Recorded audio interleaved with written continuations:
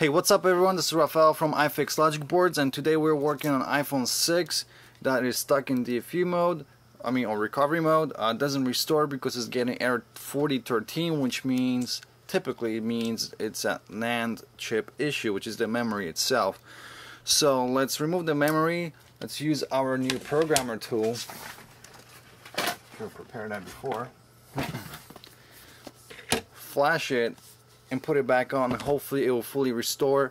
This is obviously not a data recovery this is just to get the phone running. So let's try it out and hopefully we'll get it running.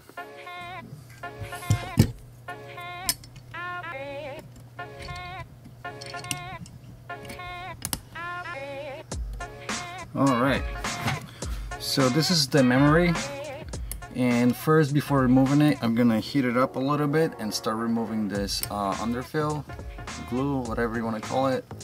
Uh, so it's easier to remove the chip and so it won't actually remove this uh, these components with it. I'm just gonna show a little bit because when I'm recording uh, through the microscope I only see through one eye and that's not good here. So this is the idea just scrubbing out the glue at low heat to loosen it up. And I'm gonna do that around the whole chip and I'll show you after it's done.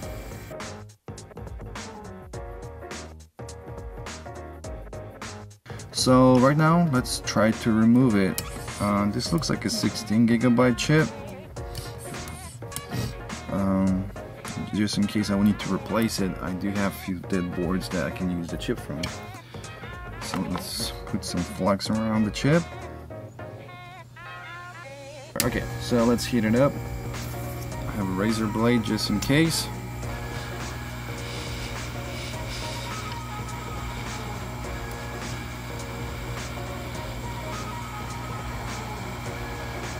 You can't really tell much through the camera. I don't know, see through both eyes and you can see that angle from the camera from the DSLR. This is a Nikon D5300 with a 24 prime lens that was made in the 80s. let's get this cable out.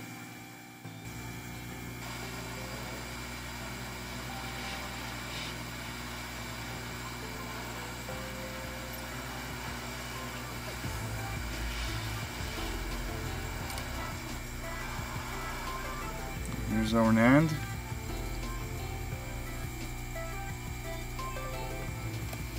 Here's the empty board. So I'm gonna clean up the uh, the pads and prepare for attaching the, either new chip or flash chip. Let's see what's gonna happen.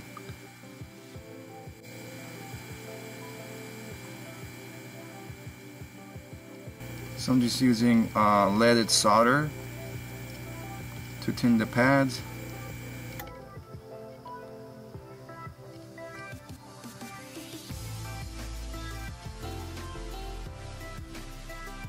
places where there's like too much a lot of glue like can you see that?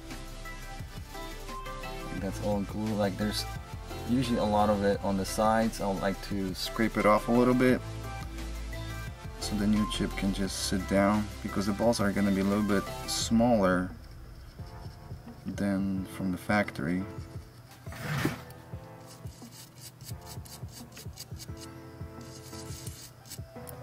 But honestly, let's get to the fun part, which is the memory chip itself.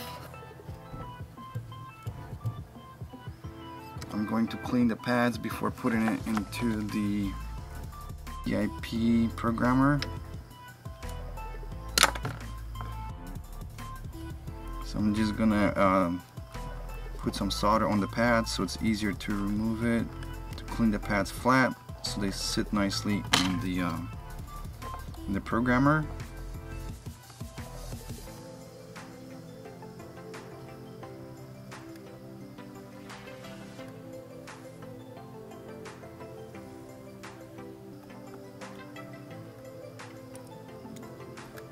Let's clean this one off.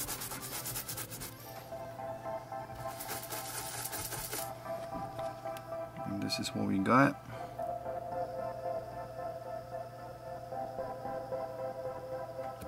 And now we're going to put it in the programmer.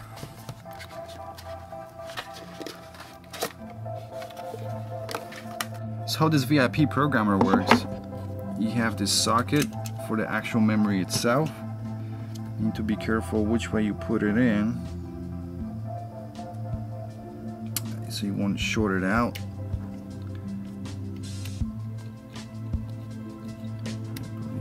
It. Lock it. Place it in this box here. Magical box. And there's a micro USB in the back. Let's plug it into the computer. I'm getting some lights.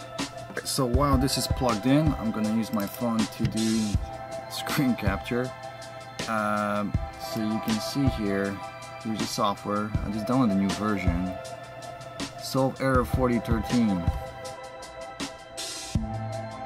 so I just clicked on uh, iPhone 6 because that's what it is. And uh, you can see the instructions are click erase all. So here's the serial number which I'm going to copy just in case. And it shows you 64-bit uh, 16 gigabytes so what I'm going to do now is go here to erase all.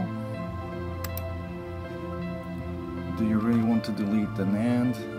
Yes. It's erasing. And it's doing its thing. The operation done. Unplug this from power. Pop it open. Remove the memory let's rebuild this puppy so here I have a stencil and when I'm rebuilding I like to use this tape, which is air duct tape. Uh, it's, you know, heat resistant. It's pretty strong, which is good. So I like to take the chip to the bottom.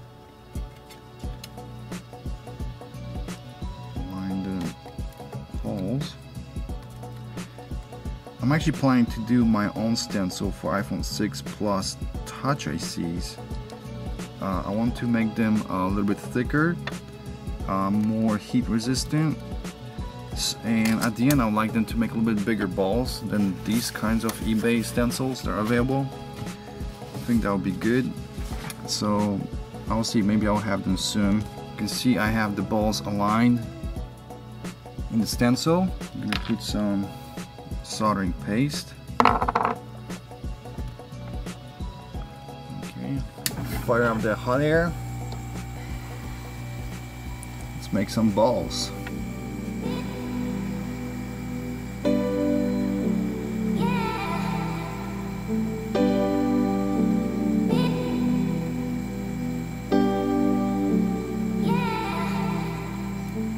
This is cool every time I do it.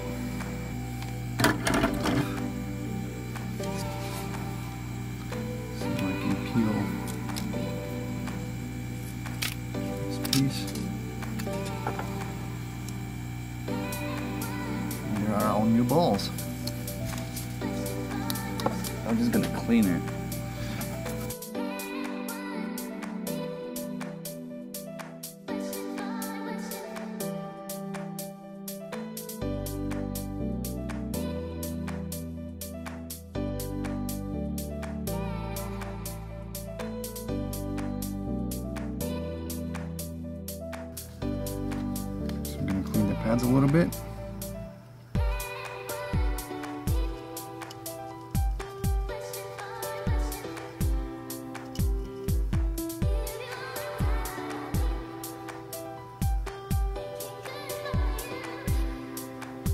I'm going to put some fresh flux.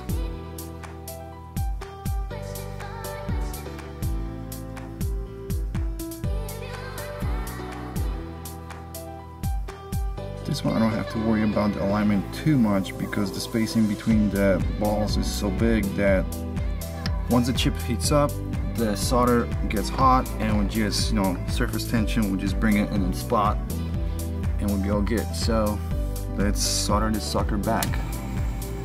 Try to make it so hopefully you can maybe see the chip going down.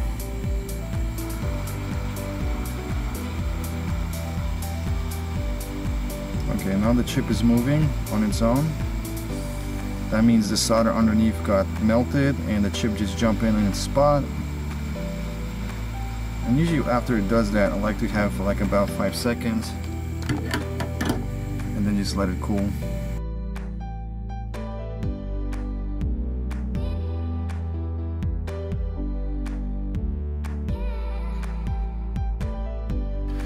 So let's put this back in its housing try to restore and hopefully will not get that error anymore.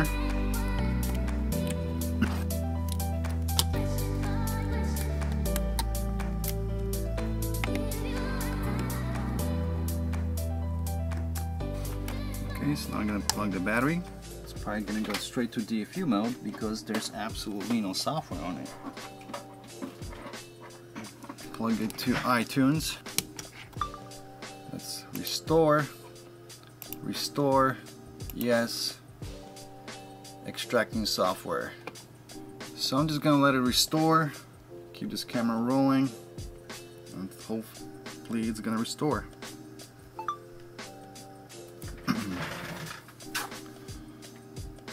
Well, error 40. Okay, we got error 40. What's error 40? That's from the software as far as I know. Uh, this is the chip. Uh, when was erasing it, it removed this uh, serial number as well. Luckily, I saved it on, on the computer, so I reprogrammed it with the serial number. I also reprogrammed uh, another um, memory just in case maybe this one's just bad because, you know, I don't know. So I reprogrammed this one, which is also 16 gig, I believe, um, with the same uh, serial number. So I'm gonna put it back on, and hopefully it will restore that. Rating that error 40 is popular for the the VP uh, box, whatever the box is called. I've just replaced uh, the NAND chip with uh, donor one. Put the serial number on it. And now let's see if this will work because uh, I was getting all kinds of errors with the other one. So plug in the battery. Connecting to iTunes. The phone is detected.